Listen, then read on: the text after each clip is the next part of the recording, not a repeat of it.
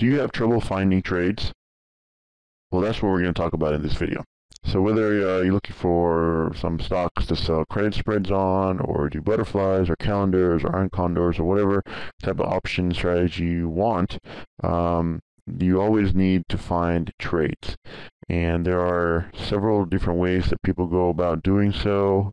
Um, before I get into the real topic of this video um, and discuss with you the free tool that I'm about to show you, um, which is a website, and it's a, it's an amazing website and it's free. I don't know how long it's going to stay for free, but I hope it's it's been free for a while, and I hope it stays free for a while because it's really powerful and has a lot of great information. But before we go into that, I wanted to go over my personal philosophy about the how to find trades. Now, when you're doing option selling, I personally believe that you should know the stock or ETF or index that you're going to trade on. So for example, what I do is I come up with a list and I have a list of maybe 30 to 50 stocks that I watch on a regular basis and I see how they react and I try to follow the news on these stocks and when the news comes out I try to see how that affects the price. Um, you know, there are different stocks for different purposes. For example, some of the high-flying stocks that we watch, you know, everybody watches Apple, Baidu, Google, all of these. I like to do credit spreads on those because they offer good premium, they're very liquid, um, but I want to watch those and see how they're trading and how the prices are, are reacting because um, if you jump from stock to stock every month, you're not going to know how the price is going to react to certain news. So what I like to do is have a list and watch them month after month after month. So that way I know that, hey, if earnings comes out, you know, how much is this stock likely to move? If there's a, a news announcement, Fed makes an announcement, something happens, how much is this stock likely to move, you know? Um, we have all these big news announcements going on. Let's say, you know, Europe is about to default on its debt or some country makes big news that they can't pay their bills or whatever. Well, is this stock going to make a big difference or not? Well, if it's a stock like uh, McDonald's or Johnson & Johnson, then it's not going to move that much. If it's something else more tied to the market with a higher beta, then yeah, it's going to jump up and down and be up and down every day. Well, depending on what temperament I have and what trade I'm in, I don't want it to be jumping up and down, or maybe I do want it to be jumping up and down. So I need to know which stocks are good for what situations. And I can't know that unless I've been watching it for several months and I know how it's going to react. So for example, if something is going on with a stock and all of a sudden it normally trades you know, less than a dollar a day or two dollars a day max, and then all of a sudden it's jumping three dollars, then down three dollars, and up four dollars. I know there's something wrong. I know there's something going on that maybe not. It's not in the news. Maybe it's insider trading. Maybe it's uh, somebody doing something, manipulating the stock for some reason then I can tell that, hey, you know what, I either need to be really careful if I'm in a trade or I just need to get out, wait till it calms down for a few days, and then I can get back in after the craziness is over with. But I won't know that unless I'm watching the stock on a regular basis. Um, I mean, if you're doing this, if you want to be this in this for the long term, you don't really need to spend that much time on it. Um, what I'm talking about is just, you know, where is the price going? You don't need to watch it every day even. You can just on a on a week to week basis, hey, how's this how's the stock doing?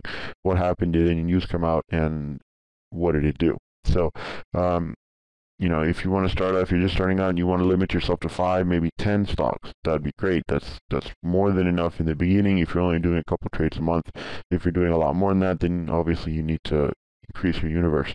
You know, I mean, my wife wanted to know how to trade options, and I've been teaching her, and one of the first things I told her to do was go through the S&P 500 just go through every single S&P 500, look and find some companies that you like, that you know about, that you've heard about, that are optionable, that are good liquid, that have good premium on their options, and that have good charts that you like.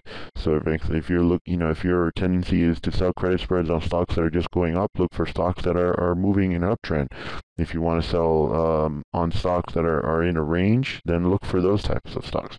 And um, you know, that's what she, that was one of the first things I told her to do. And if and if you want to know, you know, what I think you should do, you can do something similar to that. Now, I don't know if you need to go through all 500. Maybe you can just, you know, go through a few less. But that's that's my personal philosophy. Now,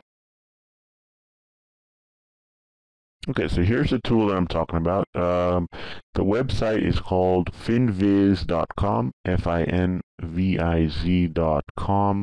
uh, and it's totally free. You don't need to pay anything. I just typed it into my browser and up it came. It's been like this for a while. I hope they don't uh, start charging for it, but um, it has a ton of information about all different types of stocks and it's very current. It's up to date. And uh, I mean, there's a lot of stuff on here. I don't even know most of the stuff on here. Um, I use it for a few things, but we probably use it for a lot more if you actually spend some time looking at it. So over here we have um, today's advancing versus declines, new highs versus new lows, above 50-day moving average, below the average, etc., etc. Um, and then this is just a list of some of the companies that it's that are active today and the top gainers, new highs, new lows, overbought, unusual volume, upgrades, earnings, insider buying.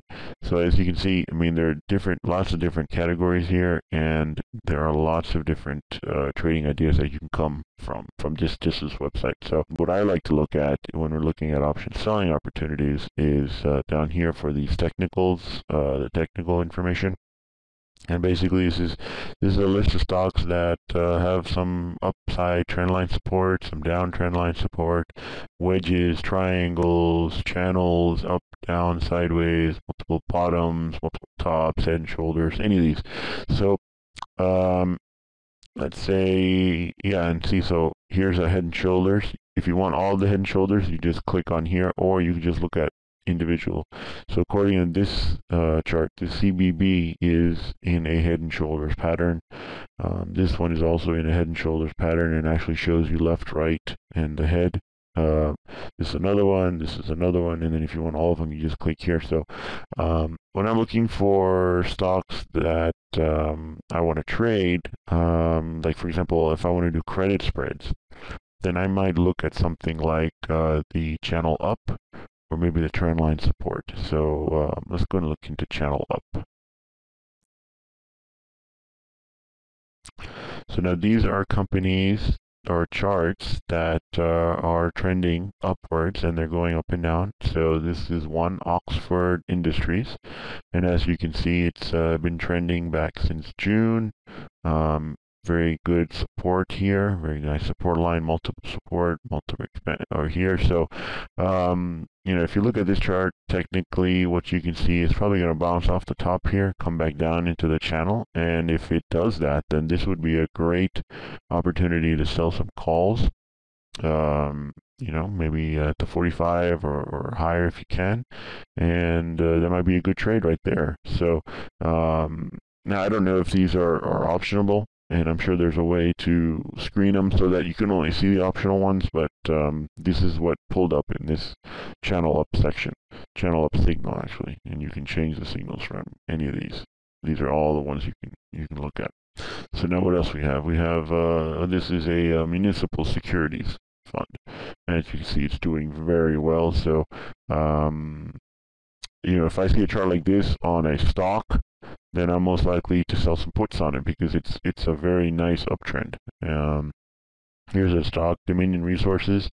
As you can see, it's been trending upwards for a while, and now the last yeah, last few days, um, since December, it seems to be going sideways. Mm, but it hasn't broken its support or its uh, channel yet, so this might be good for maybe an iron condor even or a butterfly because it's moving up in a in a in a steady fashion. It's not going crazy. So um, here we have another one. Uh, this is another bond fund, municipal bond fund. These munis seem to be doing well. um, but you're saying you're showing here is a double top. So if you, know if you know what to do with a double top, then you can do something there. Here's another one. There's another bond fund. It's another in, uh, muni. Um, and then these are, I mean, this will show you stocks, it'll show you ETFs, uh, mutual funds as well. It doesn't show you indexes, but um, we're just looking for ideas here. Um, this is a nice, that's another muni, that's another muni, muni. Oh, Okay, well then there, there's a couple more pages, so let's see what else is out there. In the channel up, see if we can find a good stock here. Um, nope, nope. Munis? I think we need to go start buying some munis. These are all doing very well.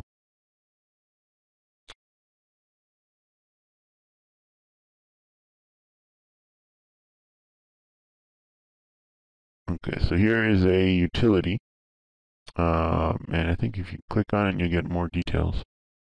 Yeah, so this is a Consolidated Edison. It's a utility, Con Ed. I think it's in New York. Um, as you can see, it's been trending upwards for a while. It should have a pretty decent dividend. Yeah, 4% dividend.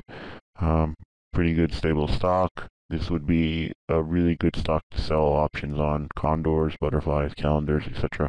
I think um, you can even do credit spreads on the put side here. Um, and you should be fine. This would be a really good stock right now to do it. And I'm not advising you to do it. I am just helping you look for ideas. Um, you know, do you trade at your own risk. I'm not advising you to do this. I'm not about to put a trade on here. So I advise you uh, if you're going to do it, uh, if you like this particular stock or any of the ones that we've already looked at, uh, or anything you find on FinViz, you know, do paper trade.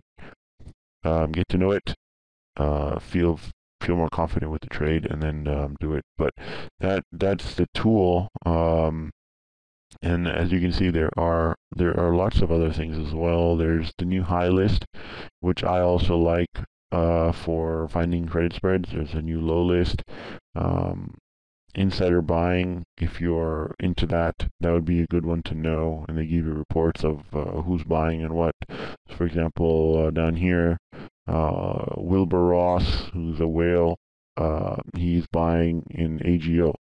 So he bought uh, a few days ago $22 million worth of stock. So that, uh, and then the day after he, he bought 5 million more. So um, that gives you a good indication of what some people are doing um, as you can see here, uh, Sergey from Google, he sold $52 million worth of stock. Now, I don't know. You can't, uh, you know, if you know how to do insider trading, then, then you can play with these numbers. But um, eh, there, like I say, there are many reasons that people sell stock, insiders, but there is only a, one reason why they buy, and that's because they think it's going up. Um, so take that for what it's worth a little chart here if you like these types of things so you know um, you know how everything is broken down and who's moving and whatnot. As you can see today there's only um, there's only one little green spot right here. So that would be I can't really see it but um, if you know how to I mean there's so many tools here that you could take a look at spend a whole bunch of time on and this is one of the tools that I use. It's a free tool and uh, make the best of it. Happy trading